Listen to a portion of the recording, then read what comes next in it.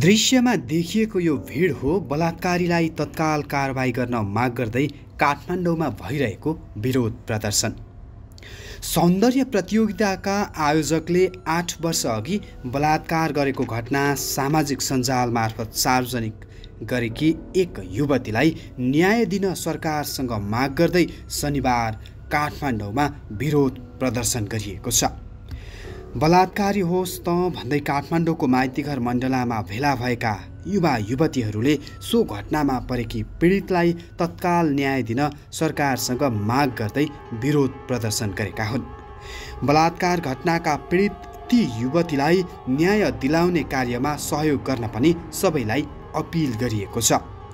बलात्कारीलाई सजाय दे दोषीलाई कारवाही गर। बलात्कार र यौनजन्य घटनाको तत्काल निर्णय गर्न छुट्टै अदालतको स्थापना गर।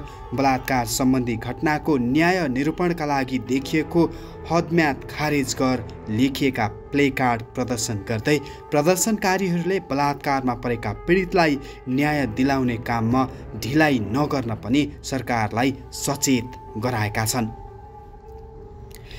एक युवतीले आठ वर्ष अघि सौन्दर्य प्रतियोगिताका क्रममा आफूलाई आयोजक संस्थाले बोलाएर बलात्कार गरेको घटना सामाजिक सञ्जाल टिकटक मार्फत सार्वजनिक गरेकी थिइन् त्यसको विरोधमा शुक्रबार पनि प्रधानमन्त्री निवास बालुवाटार अगाडि प्रदर्शन गरिएको थियो भने सङ्घीय संसद प्रतिनिधि सभाका सांसदहरूले पनि पीडित ती युवतीलाई न्याय दिन र दोषीमाथि तत्काल कारवाही गर्न सरकारसँग माग गरेका थिए।